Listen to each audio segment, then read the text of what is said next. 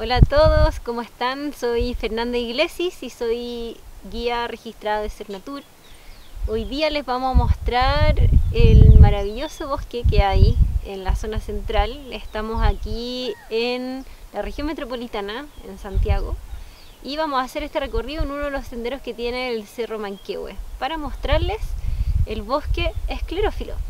No sé si muchos saben, pero este bosque, a pesar de que lo encuentren muy común si viven en Santiago, es un bosque que es realmente único en el mundo porque crece solamente en el clima mediterráneo.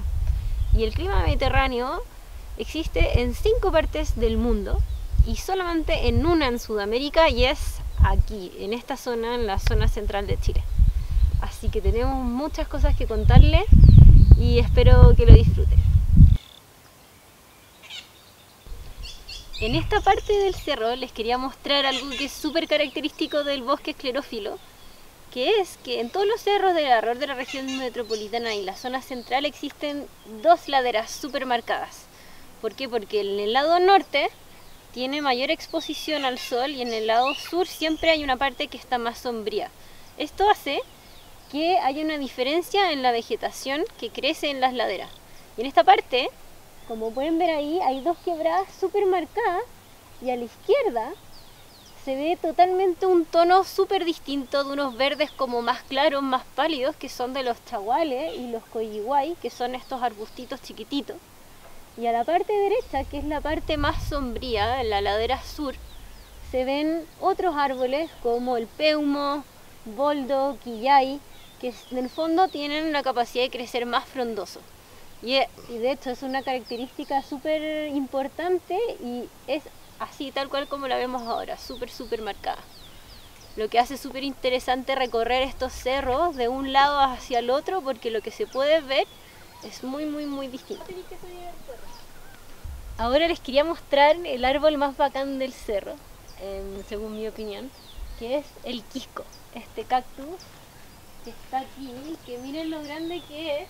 Los cactus como el quisco, crecen aproximadamente hasta 2 centímetros al año.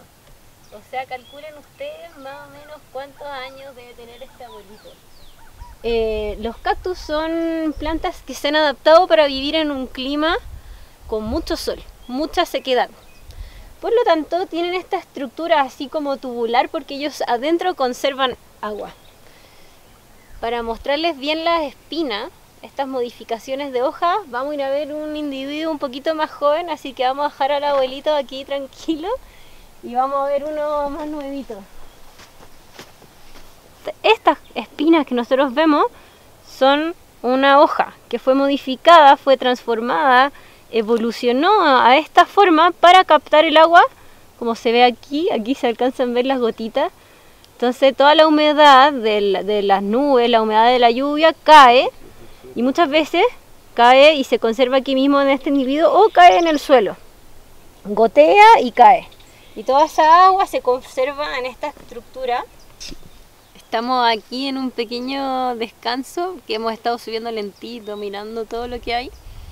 Y mm, es súper importante saber que todo lo que estamos comiendo, que no caiga al suelo, porque los animales que viven aquí lo importante es que ojalá ellos mantengan sus hábitos lo más normal posible. La mayoría de los pajaritos aquí y de los animales, como la tenca, como el zorro, ellos se alimentan de las semillas del bosque y gracias a eso, cuando defecan, eh, dispersan sus semillas. Entonces, si nosotros subimos al cerro y vamos tirando, se nos cae, a mí se me cae un poquitito de maní que hay tirado, los pajaritos se van a ir acostumbrando a comer esto y no comer de los frutos del bosque y así no se van a dispersar esas semillas y van a crecer menos arbolitos, menos arbustos. Así que es súper importante que lo que uno trae se lo lleva o se lo come.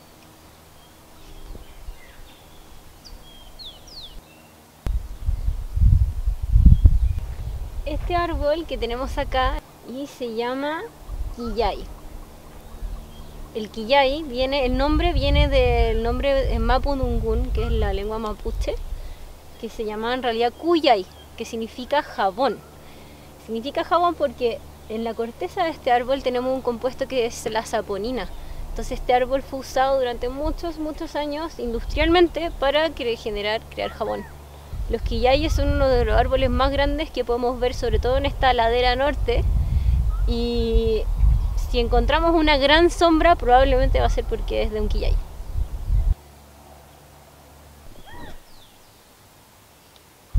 Esta plantita que tenemos acá se llama chagual o puya. Es una planta, una de las inflorescencias que hay en el cerro, una de las más bonitas. Miren linda que es. Día es una planta vulnerable que hay que cuidar y bueno, y crece solamente en esta ladera, en la ladera norte del cerro.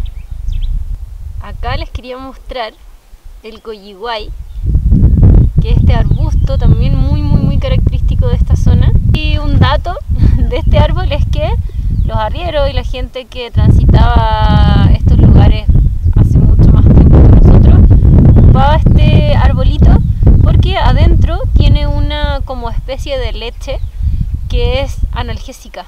Entonces lo ocupaban como remedio para cuando tenían dolor de muelas y no habían dentista usaba esto. Bueno, espero que les haya gustado. Hemos llegado ya al fin del recorrido. Que espero que con relatos de guía del